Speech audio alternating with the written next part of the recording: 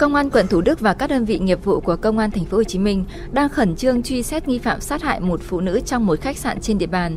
Nạn nhân 45 tuổi quê Lào Cai. Tại hiện trường, túi sách cá nhân đã bị lấy hết tài sản. Công an thu thập một số tăng vật nghi dùng để sát hại nạn nhân.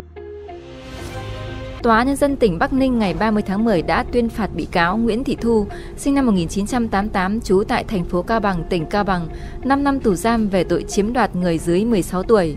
Thu là người đã bắt cóc cháu bé 2 tuổi ở thành phố Bắc Ninh, sau đó đưa lên Tuyên Quang.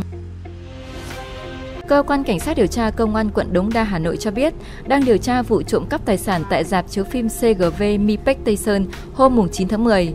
Theo điều tra, đối tượng rủ bạn gái mới quen đi xem phim, sau đó lợi dụng sơ hở đã lấy trộm 7 triệu đồng tiền mặt và một chiếc nhẫn vàng trong túi sách của nạn nhân.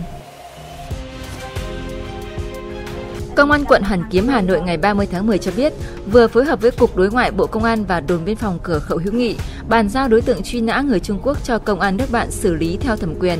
Đối tượng này vi phạm pháp luật hình sự Trung Quốc về hành vi mua bán thông tin cá nhân, bỏ trốn sang Thái Lan rồi sang Đà Nẵng để trốn tránh lực lượng chức năng Trung Quốc. Được sự vận động của cơ quan chức năng, đối tượng đã từ Đà Nẵng ra Hà Nội đến công an phường Hàng Buồm đầu thú.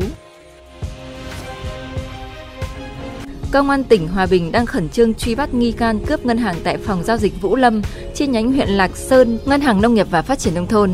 Vụ việc xảy ra vào giờ nghỉ trưa 29 tháng 10. Đối tượng dùng súng uy hiếp, đe dọa ép các nhân viên đưa hết số tiền trên quầy rồi tẩu thoát. Thống kê ban đầu, số tiền bị cướp khoảng 200 triệu đồng.